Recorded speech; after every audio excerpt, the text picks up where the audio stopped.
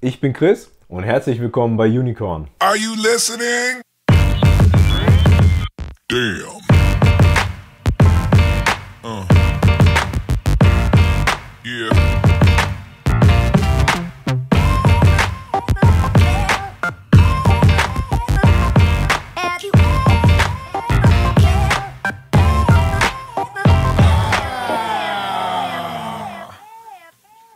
Schön, dass ihr wieder eingeschaltet habt und herzlich willkommen zurück zu den Grundlagenvideos. Ähm, was machen wir heute? Wir werden heute die Gelnägel vom letzten Mal auffüllen. Das heißt, wir machen heute French. Also viel Spaß dabei. Jetzt fangen wir an, äh, das French aufzutragen. Es gibt zwei Möglichkeiten. Einmal mit dem Pinsel oder einmal mit dem Dotting Stick. Dotting Stick ist einfach nur ähm, dünne oder etwas dickere Spitze mit einer Kugel vorne dran. Damit kann man auch French auftragen. Manche kommen damit besser klar am Anfang. Also wenn ihr wirklich Anfänger seid, versucht es erstmal hiermit, anstatt mit dem Pinsel. Mit dem Pinsel ist es ein bisschen ähm, ja, gewöhnungsbedürftig, möchte ich mal sagen. Aber ich habe mich daran gewöhnt und habe es immer so gemacht. Also ich mache es mit dem Pinsel. Ich zeige es euch aber auch nochmal mit dem Dotting Stick. Vor müssen wir das Ganze äh, erstmal abcleanern, weil wir haben jetzt wieder die Schwitzschicht durch das Aufbaugel drauf. Die entfernen wir jetzt einmal und mattieren das Ganze mit dem Buffer ganz kurz an. Falls noch kleine Hubbel da sind durch irgendwelche ähm, durch irgendwelche Staubeinschlüsse, können wir die jetzt hiermit auch nochmal wegmachen. Und dadurch, dass wir das anmattieren, ist es so, als wenn ihr wie auf Papier zeichnen würdet. Macht das Ganze relativ einfach. So, wir haben jetzt hier drei French-Farben. Einmal ein Natur-French, was bei mir im Studio wirklich sehr gut ging. Ähm, also die Hälfte der Kunden hat's wirklich, hat wirklich Natur-French genommen. Muss man natürlich noch ein bisschen umrühren. Dann haben wir ein ganz normales Farbgel. Dazu ist nicht viel zu sagen. Farbgel ganz normal. Natürlich könnt ihr auch Shellac nehmen als French. Haben wir jetzt den, den wir letztes Mal komplett als Nagellack hatten. Vielleicht nehmen wir den. Wir probieren es jetzt erstmal aus, was am besten gefällt. Und wir fangen mit dem Natur French an. Und zum Dotting Stick nehmt erstmal die kleine Kugel am besten, um euch dran zu gewöhnen. Tunkt das ein, nehmt euch so einen Tropfen mit und dann fangt ihr vorne an, an der Spitze und arbeitet euch dann so langsam, also ihr schiebt das Gel langsam in die Ecken, wo ihr es braucht. Wirklich gucken, dass ihr eine C, äh, wirklich gucken, dass ihr eine schöne Smile-Line kriegt.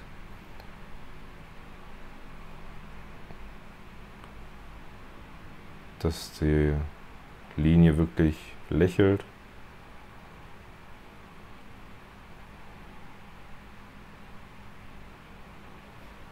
Dass das nicht so zackig aussieht, sondern wirklich eine schöne.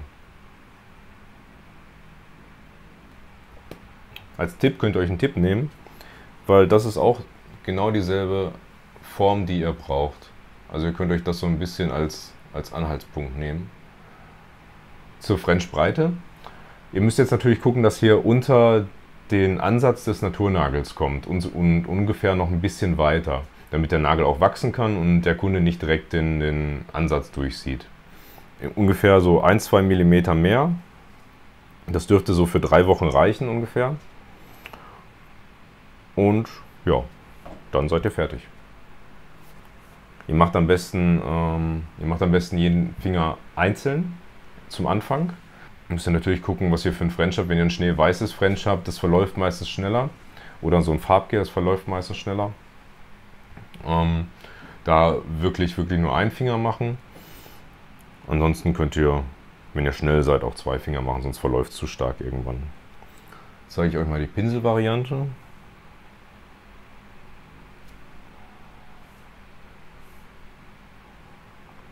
Ähnlich wie beim Dotting Stick schiebe ich mir hier die, das Gel dahin, wo ich es brauche. Und komme mit, mit der Hand in das Gel rein.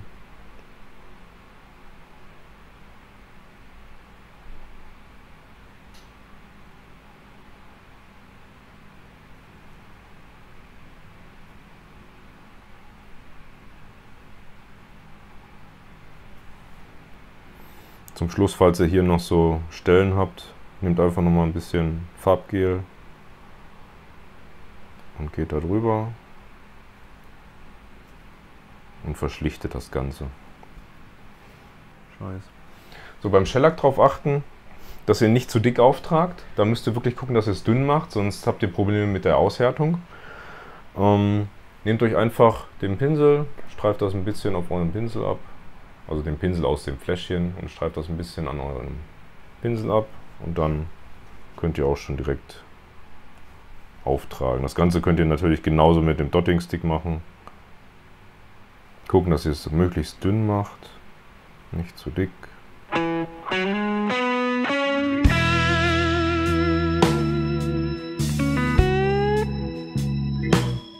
346 Minuten später. So, nach langer Diskussion haben wir uns jetzt für Mintgrün entschieden. Das heißt, die anderen Farben kommen, kommen ab. Nehmt dazu einfach ein bisschen cleaner und wischt die Farben wieder weg. Also auf keinen Fall aushärten lassen, sonst habt ihr dann gleich ein Problem, sonst könnt ihr das Ganze wieder abfeilen. Und ja, den nehmen wir auch mal wieder weg, weil der ist schon ein bisschen verlaufen. Und wenn ihr das abgecleanert habt, geht noch mal kurz mit dem Buffer drüber.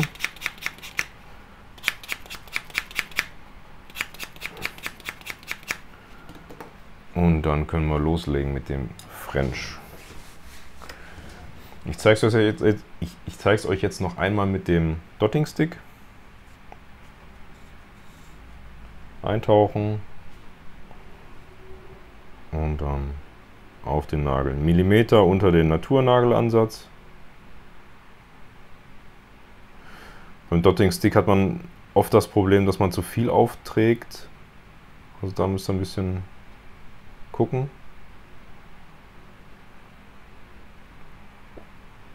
So, das Ganze schön verschlichten dann, wenn ihr euch sicher seid. Gucken, hier vielleicht nochmal mit dem Finger wegmachen, wenn was auf, den, auf die Haut gelaufen ist.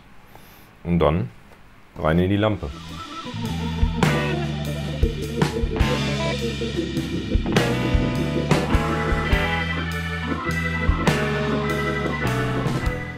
Beim French ist es wie beim Aufbaugel. Lasst die Kunden den Zeigefinger am besten einzeln reintun.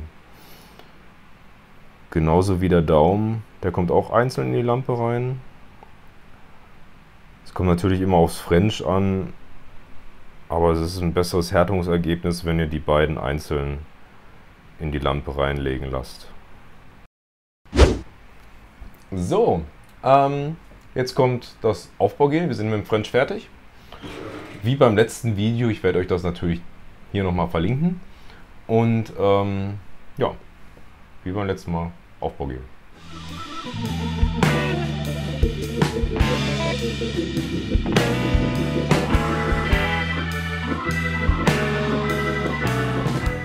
So, wir haben das Aufbaugel jetzt aufgetragen. Wir werden das Ganze jetzt nachfeilen. Ähm, beim Nachfallen und French müsst ihr darauf achten, dass ihr den French jetzt nicht wegfallt. Ganz wichtig. Also wirklich vorsichtig an den Rändern feilen. Und ja, ansonsten dasselbe wie letztes Mal. Schöne C-Kurve rausarbeiten und falls Gel auf der Haut ist, das natürlich auch wegfallen.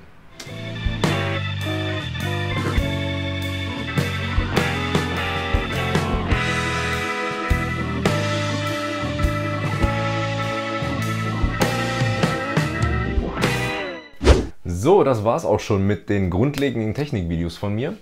Ähm, das nächste Mal werden wir auf die Feinheiten eingehen, wie zum Beispiel, wie feile ich richtig, die richtige Nagelform oder noch genaues zur C-Kurve. Ähm, ich hoffe, das Video hat euch gefallen. Wenn ja, gerne sharen, teilen, liken und dann würde ich mich freuen, wenn wir uns beim nächsten Mal wiedersehen. Euer Chris.